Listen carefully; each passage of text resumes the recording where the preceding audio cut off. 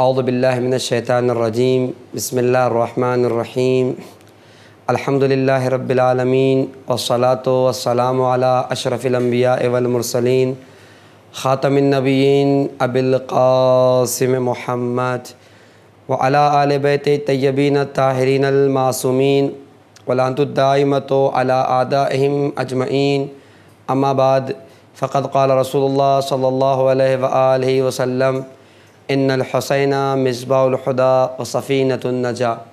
محترم ناظرین کرام سلام علیکم۔ ہم روزانہ آپ کی خدمت میں سلسلے وار تاریخ کربلا کو لے کر پیش ہو رہے ہیں۔ اور کل ہم نے آپ کی خدمت میں پیش کیا تھا امام حسین علیہ السلام جب قصر بنی مقاتل میں پہنچے تو امام نے رات کے آخری حصے میں یہ حکم دیا کہ اپنے برتن کو پانی سے پر کر لو۔ یعنی جو بھی آپ کے پاس پانی کا ظرف ہے، مشق وغیرہ، اسے آپ پانی سے پر کر لو۔ اب تاریخ کہتی ہے، خود اقبا بن سمان کہتے ہیں کہ جب ہم وہاں سے روانہ ہوئے اور گھنٹے بھر کا یعنی تقریباً ایک گھنٹے کا سفر جیسے ہم نے طے کر لیا، تو امام حسین کو ہلکی سی آنکھ لگی۔ جیسے امام حسین کو ہلکی سی آگ لگنی تھی، تھوڑی دیر بعد آپ نے بلند آواز سے انا للہ و ان الیہ راجعون والحمد للہ رب العالمین کو بلند آواز سے پیش کیا۔ بلکہ ایک بار نہیں، تاریخ دو تین بار تاریخ کہتی ہے کہ امام حسین علیہ السلام نے اس کلمہ استرجہ انا للہ و ان الیہ راجعون اور خدا کی حمد الحمد للہ رب العالمین کی تکرار کی۔ اور تاریخ نے لکھا ہے کہ جب اس آواز کو جناب علی اکبر علیہ السلام نے سنا تو دوڑے دوڑے اپنے بابا کے قریب آئے اور اپنے بابا سے مخاطب ہو کر کہتے ہیں، بابا جان، میری جان آپ پر قربان۔ اس وقت آپ نے بلند آواز سے کلمہ استرجا یعنی انا للہ و انا علیہ اور الحمد للہ رب العالمین کو بلند آواز سے تین مرتبہ کیوں کہا؟ تاریخ کہتی ہے، امام حسین علیہ السلام نے کہا، بیٹا، ابھی درمیان راہ مجھے ہلکی سی آنکھ لگی تھی کہ میں نے خواب میں دیکھا، ایک شخص ہمارے قریب آیا ہے اور وہ آواز لگا کے کہہ رہا ہے، یہ وہ لوگ ہیں کہ جو موت سے قریب ہو رہے ہیں اور موت ان سے قریب ہو رہی ہے۔ اس کا مطلب امام حسین علیہ السلام کہتے ہیں، بیٹا، گویا ہمیں یہ سمجھایا جا رہا ہے کہ ہماری موت اب ہم سے قریب ہے اور ہمیں ہماری موت کی خبر دی جا رہی ہے. اب تاریخ کہتی ہے کہ جیسے جناب علی اکبر علیہ السلام نے کہا کہ بابا جان، خدا آپ کو ہر مصیبت و بلا سے محفوظ کرے، لیکن اتنا بتائیے، السنا الحق، کیا ہم حق پر نہیں ہیں؟ تو امام حسین علیہ السلام نے جواب دیا، بیٹا اگر ہم حق پر نہ ہوں گے تو پھر حق پر کون ہوگا؟ جیسے ہی یہ جواب جناب علی اکبر علیہ السلام نے امام حسین علیہ السلام کا سنا، تو جناب علی اکبر علیہ السلام کہتے ہیں، بابا اگر ہم حق پر ہے تو پھر فرق کیا پڑتا ہے؟ موت ہم پر آن پڑے یا ہم موت پر جا پڑے؟ بات برابر سی ہے۔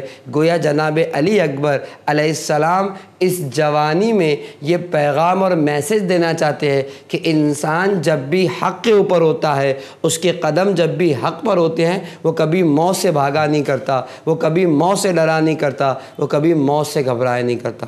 اور موت سے وہی ڈرے گا جو حق پر نہیں ہے۔ اصولوں کے تحت زندگی نہیں گزار رہا ہے۔ لہٰذا حق پر ہے تو موت سے گھبرانا کیسا جناب علی اکبر علیہ السلام نے کہا۔ یعنی خود جناب علی اکبر علیہ السلام مقصد یہ نہیں کہ امام حسین کو بدلانا چاہ رہا، بلکہ وہ اپنے خیالات کا اظہار کر رہے ہیں کہ اگر ہم حق پر ہے تو پھر موت ہم پر آن پڑے یا ہم موت پر جا پڑے، کیا فرق پڑتا ہے؟ تاریخ کہتی ہے امام حسین نے وہ رات کا وہ حصہ گزارا اور صبح نمودار جب پاؤ پھٹی ہے تو امام حسین علیہ السلام نے نماز صبح ادا کی اور نماز صبح ادا کرنے کے بعد پھر امام حسین اپنے اصحاب کے ساتھ آگے بڑھ گئے۔ تاریخ کہتی ہے، ابھی کچھ ہی راستہ، کچھ ہی سفر امام حسین علیہ السلام نے طے کیا تھا کہ ایک قاصد جو عبید اللہ ابن زیاد کی طرف سے حر کے پاس آیا اور اس نے حر کو ایک خط دیا۔ حر نے خط لیا۔ لینے کے بعد خط کو پڑھا۔ اس خط میں عبید اللہ ابن زیاد نے لکھا تھا کہ جیسے ہی میرا قاصد تمہارے پاس پہنچے، اسی مقام پر امام حسین کو روک دو، انہیں آگے بڑھنے مت دینا اور کوشش کرنا کسی ایسے علاقے میں روکا جائے کہ جہاں پانی وغیرہ نہ پایا جاتا ہو تاکہ ہم آسانی سے انہیں شکست دے سکیں، آسانی سے ان کا کام تمام کر سکیں۔ اب تاریخ کہتی ہے، جب حر نے اس خط کو پڑھا، پڑھنے کے بعد خدمت امام حسین علیہ السلام میں آیا۔ اور آنے کے بعد وہ خط امام حسین کی خدمت میں پیش کر دیا کہ عبید اللہ ابن زیاد کا خط ہے اور اس نے کہا جیسے ہی میرا خط ملے اسی جگہ پر میں آپ کو مبوس کر دوں، اسی جگہ پر آپ کو روک دوں، آگے بڑھنے نہ دوں۔ اور اس نے یہ تک لکھا ہے کہ یہ قاصد میرا جاسوس ہوگا تیرے ساتھ یعنی حر کے ساتھ، کہ تو میری بات پر عمل کرتا ہے یا نہیں کرتا ہے۔ اور جب تو عمل کر لے گا، تبھی یہ قاصد واپس پلٹ کر مجھے اطلاع دے گا کہ واقعاً حر نے جو ہے وہ میری بات پر عمل کر لیا ہے۔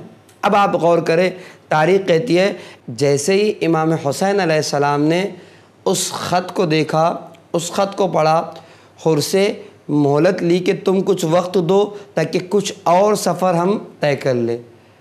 امام حسین اس طریقے سے اور آگے بڑھے اور تاریخ کہتی ہے کہ دو محرم الحرام سن اکسٹھ ہجری میں امام حسین علیہ السلام سرزمین کربلا پر وارد ہوئے۔ یعنی وہ راستہ جب رکا ہے، تاریخ کے مطابق قصے بنی مقاتل کے بعد جب امام حسین نکلے تھے اور پھر وہ قاصد کا آنا اس کے بعد امام کچھ اور چلے ہیں، تو دو محرم الحرام بروز جمعرات اکسٹھ ہجری کو امام حسین علیہ السلام سرزمین کربلا پر پہنچے۔ اب تاریخ کہتی ہے جب امام حسین علیہ السلام سرزمین کربلا پر پہنچے، آپ نے آس پاس کے لوگوں کو بلایا اور بلانے کے بعد ان سے یہ سوال کیا کہ اس زمین کا نام کیا ہے؟ کسی نے کہا اسے شت فرات کہتے ہیں، کسی نے کہا اسے نینوا کہتے ہیں، کسی نے کہا اسے غاصریہ کہتے ہیں۔ امام حسین نے پوچھا، کیا اس زمین کا کوئی اور بھی نام ہے؟ تو کسی نے کہا، اس زمین کو کرب و بلا بھی کہتے ہیں۔ جیسے ہی امام حسین علیہ السلام نے کربلا کا نام سنا، اب تاریخ کہتی ہے، یہ سن کر امام نے گریہ کیا۔ اور گریہ کرنے کے بعد امام فرماتے ہیں، قسم خدا کی یہی زمین کرب و بلا ہے۔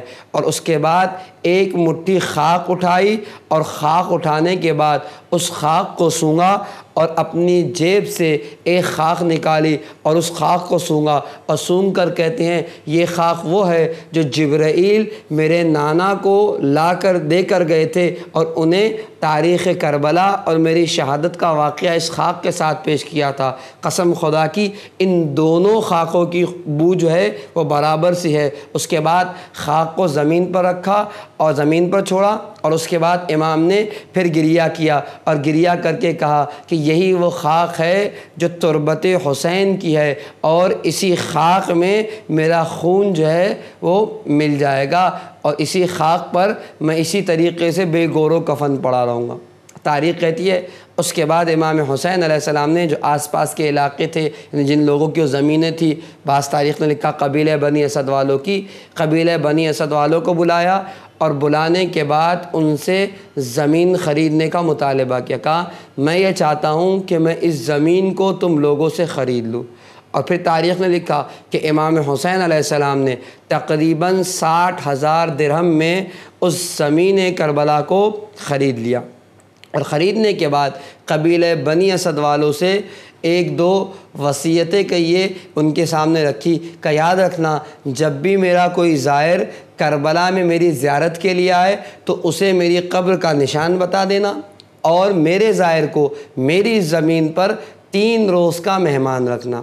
اور آج تک الحمدللہ کربلا جو ہے، اس طریقے سے شاد و آباد ہے کہ امام حسین کی مہمان نوازی میں زائرین کرام تشریف لے جایا کرتے ہیں۔ تاریخ کہتی ہے کہ امام حسین نے اس زمین کو خریدا، پھر امام نے حکم دیا کہ ہمارے اونٹ یہیں بٹھا دیے جائے۔ امام حسین علیہ السلام کے اونٹ بٹھلا دیے گئے اور بٹھلا دیے جانے کے بعد تاریخ کہتی ہے کہ امام حسین نے کہا، یہی وہ جگہ ہے جہاں ہمارا خون بہایا جائے گا، ہمارے حریم کی حرمت کو توڑا جائے گا، ہمارے بچوں کو تیغ تحقیق کیا جائے گا اور اسی سرزمین پر ہماری قبر بھی بنے گی اور وہی قبر زیارت گاہ قرار پائے گی۔ جو آج تک دنیا دیکھ رہی ہے کہ کتنے لوگ آئے چلے گئے، کتنے زمانے بیت گئے، لیکن روزہ امام حسین اسی شان مان سے زیارت گاہ بنا ہوا ہے اور دنیا سے لوگ جا کر امام حسین کے اس قول کی تائید کرتے ہیں کہ یہی وہ جگہ ہوگی جو ہماری زیارت گاہ بن جائے گی۔ اور تاریخ کہتی ہے، جب امام حسین نے اپنے خیمے لگا لیے تو مد مقابل میں